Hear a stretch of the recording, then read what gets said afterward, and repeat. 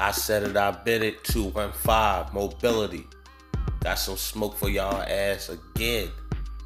Yo, Dak Prescott won 45 million from the Dallas Cowboys. Yo, how y'all feel about that? Dak, you out your motherfucking mind. Me personally, as a Go Cowboys motherfucking fan, and I know y'all don't like that shit. I don't care. Go Cowboys. You trying to fuck the salary cap up, bro? You deserve more than Russell Wilson.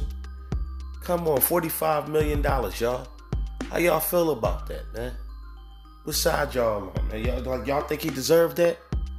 You know, going to the trajectory of, you know, where the salary cap about to go? You think he just trying to be ahead of the curve? Let me know. Like and subscribe, man. I said it, I meant it.